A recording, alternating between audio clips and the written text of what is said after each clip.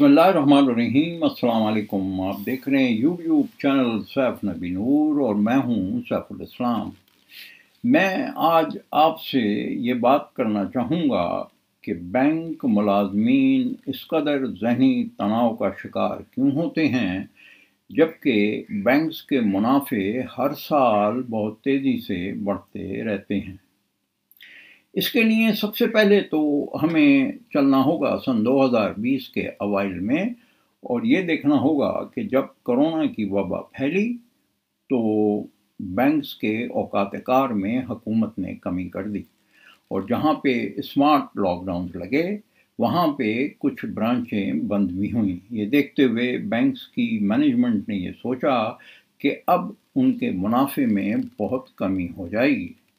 لیکن جب ہم سن دو ہزار بیس کے نتائج دیکھتے ہیں، تو یہ اس میں سامنے آتا ہے کہ تمام بینک، کمرشل بینکس نے تقریباً ایک سو نوے ارب روپے خالص منافع کمایا، جو کہ دو ہزار انیس کے مقابلے میں تقریباً اٹھتیس فیصد زیادہ تھا۔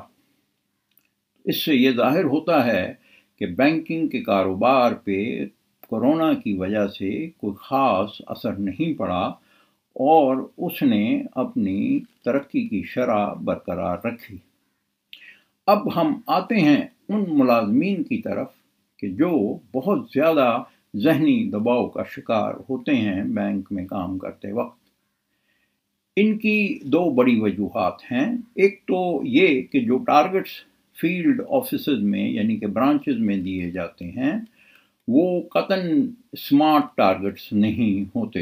اسمارٹ ٹارگٹس جیسا کہ ہم سب جانتے ہیں کہ specific sustainable achievable measurable relevant اور ٹائم باؤنڈ بلکہ ان کو ایسے ٹارگٹس دیے جاتے ہیں جو کہ یقیناً وہ ان کو بہت مشکل لگتے ہیں۔ اس کے علاوہ ان کو یہ بھی کہا جاتا ہے کہ وہ تھرڈ پارٹی پروڈکٹس یعنی کہ بینک انشورنس گاڑیوں کی لیز کریڈٹ کارڈ اور ایسڈ مینجمنٹ کے پروڈکٹس بھی بیچیں اور ان کے بھی ٹارگٹس پورے کریں۔ اور اس کے ساتھ ساتھ ان کی بینک مینجمنٹ کی یہ ایک خواہش ہوتی ہے کہ کسٹمر سروس کسی بھی طریقے سے متاثر نہ ہو۔ اب ان چیزوں کو دیکھتے ہوئے پہلے تو میں آپ سے اپنے کچھ تجربات جو ہے وہ شیئر کرنا چاہوں گا۔ میں ایک بینک میں جب کام کر رہا تھا تو مجھے مینجمنٹ نے کہا کہ وہ لمس کے کچھ گریجویٹس کو نوکری دینا چاہتے ہیں۔ جب میں نے لمس میں ایک جاب فیئر منعقد کروایا تو کوئی بھی گریجویٹ جو لمس کا تھا وہ اس بات پہ راضی نہیں ہوا کہ وہ بینک میں جاب کرے گا۔ اور اس کی وجہ لوگوں نے ہمیں جو بتائی وہ یہ تھی کہ وہ یہ بات بخوبی جانتے ہیں کہ بینک کا جو پروفیشن ہے اس میں بہت زیادہ ذہنی دباؤ کا شکار ہونا پڑتا ہے۔ اور یہ ایک ٹارگس ٹارگٹ بیس انڈسٹری ہے۔ ہم نے ان کو نہ صرف بہت اچھا پیکج آفر کیا، بلکہ ہم نے ان کو تقریباً اپنے موجودہ افسران کے مقابلے میں ڈبل پیکج آفر کیا، لیکن وہ پھر بھی اس پہ راضی نہیں ہوئے۔ دوسرا میرا تجربہ جو تھا، وہ ایک بڑے بینک کے ساتھ تب ہوا جب میں ان کے لیے ٹریننگز کروا رہا تھا۔ تو مجھے ایک مینیجر نے یہ بتایا کہ اس کی برانچ ایل او سی یعنی کہ لائن آف کنٹرول پہ ہے۔ اور اس کو کریڈٹ کارڈ بیچنے کا ایک بڑا ٹارگٹ دیا گیا ہے۔ اور اس کے علاقے میں جو لوگ ہیں وہ کوئی اتنے زیادہ امیر یا کھاتے پیتے نہیں ہیں، بہرحال اور یہ بھی کہا جاتا ہے کہ جی آپ ان لوگوں سے بینک کا اشورنس بھی ان کو بیچیں۔ یہ دیکھتے ہوئے بہرحال میں نے اپنی ٹریننگ کے اختتام پہ بینک کو ریکمنڈ کیا کہ اگر ہم اس میں ریلیونس کو ترجیح دیں اور یہ دیکھیں کہ کون سے علاقے میں کس چیز کی مارکیٹ ہے، اس حساب سے ٹارگٹ دیں تو زیادہ بہتر ہوگا۔ تیسری بات جو میرا ذاتی تجربہ تو نہیں، مگر شاید آپ میں سے کچھ لوگوں کو یہ بات معلوم ہو کہ ایک اسلامک بینک اب سے کوئی پانچ چھ سال پہلے تک اپنے امپلائیز کے لیے جو پالیسیز تھیں، اس میں بہت سختی پہ کاربند تھا۔ یعنی کہ وہ پروموشنز انکرمنٹس بونس میں بہت ہی سختی سے کام لیتے تھے۔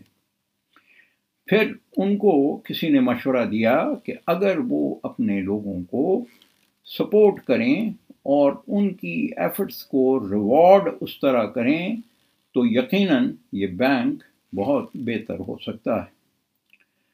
جب مینجمنٹ نے اپنی پالیسیز چینج کی اور اپنی ٹیمز کو وہ ریوارڈز دینے شروع کیے کہ جو ان کا حق بنتا تھا، تو وہ بینک ترقی کرتا ہوا آج صفحہ اول کے بینکس میں کھڑا ہے۔ یہ دیکھتے ہوئے میں صرف یہ بات کرنا چاہوں گا کہ آج کے دور میں ہم کوانٹٹی کے اوپر زور دے رہے ہیں اور کوالٹی پہ بالکل زور نہیں دیتے۔ جس کی وجہ سے، جس کی ایک مثال یہ ہے کہ نہ جانے کیوں پچھلے چند سالوں سے ایک بہت یہ سلسلہ شروع ہو گیا ہے کہ ہر بینک یہ چاہتا ہے کہ اس کے این ٹی بیز یعنی کہ نیو ٹو بینک اکاؤنٹس بہت زیادہ ہوں۔ اب یہ نیو ٹو بینک اکاؤنٹس جو ہیں، یہ بالکل کوانٹٹی تو پوری کرتے ہیں، مگر اس میں کوالٹی کا کوالٹی کا عنصر بالکل نہیں پایا جاتا۔ پانچ پانچ سو روپے سے کھلے ہوئے ان اکاؤنٹوں میں کوئی ٹرانزیکشن نہیں ہوتی۔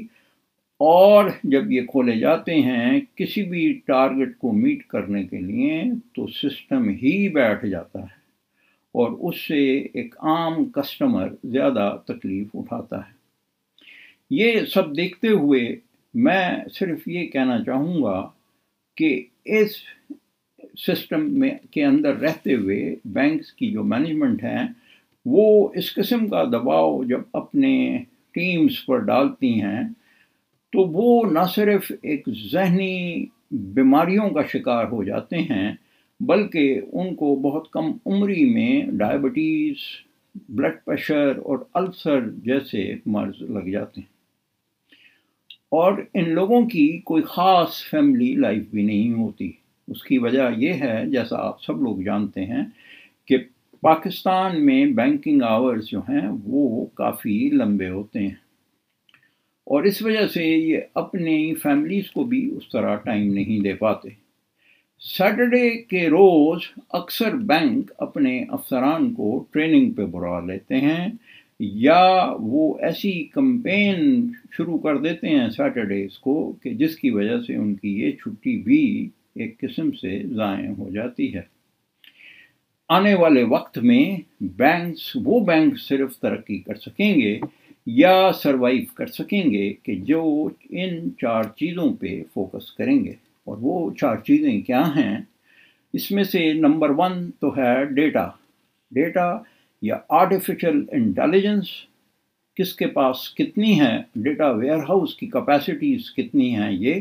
دوسرا یہ کہ ٹیکنالوجی بیس کیا ہے ڈیجیٹلائزیشن کی طرف وہ کس تیزی سے چلے گئے ہیں اور اس کے بعد کہ وہ ریگولیشنس کو کس حد تک پورا کر رہے ہیں اور اس سارے سسٹم کے اوپر بیس کرتے ہوئے ریگولیشنس کو کس طریقے سے اس پہ عمل درآمد کرتے ہیں۔ ان تینوں چیزوں کو دیکھتے ہوئے چوتھی چیز جو بہت اہم ہے کہ ان کا بزنس ماڈل کیا ہے۔ اگر ان کا بزنس ماڈل کوانٹٹی ہوا تو پھر شاید بہت مشکل ہو۔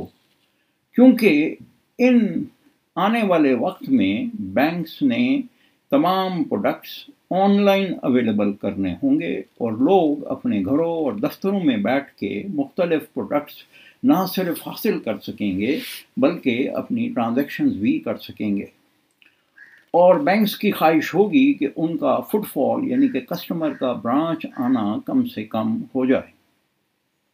اب یہ چیز دیکھتے ہوئے آپ کو پتہ ہی ہوگا کہ پچھلے دنوں اسٹیٹ بینک نے ایک نیا پروڈکٹ یہ دیا ہے کہ بینک جائے بغیر لوگ اپنا اکاؤنٹ کھول سکتے ہیں۔ تو میرا آپ سے سوال یہ ہے کہ اگر آنے والے وقت میں بینکس کی سارا انحصار ٹیکنالوجی، ڈیٹا آرٹیفیشل انٹیلیجنس اور ڈیجیٹلائزیشن پہ ہوگا، تو پھر آج ہم کیوں اپنے ان ملازمین کو اس دباؤ میں لا رہے ہیں کہ وہ نہ صرف ایسے اکاؤنٹ کھولیں، بلکہ ایسے اکاؤنٹ بھی لائیں، ایسے ڈپازٹس بھی لائیں جو کہ بینک کے لیے آنے والے وقت میں اتنے سود مند نہیں ہوں گے۔ اگر آپ سمجھتے ہیں کہ آپ بھی اس ذہنی تناؤ کا شکار ہیں، تو میری آپ سے یہ درخواست ہوگی کہ اس ویڈیو کو ضرور شیئر کریں۔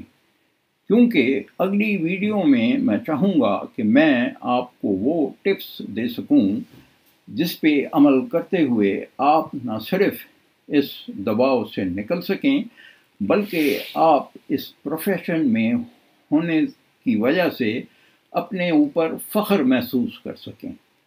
اور اس کو آپ کسی بھی دوسرے پروفیشن سے کم تر نہ جانیں۔ اور کسی بھی بڑی یونیورسٹی کے گریجویٹ جو ہوں وہ بڑے فخر سے بینک میں جاب کرنا چاہیں۔ فی الوقت اتنا ہی۔ اللہ حافظ۔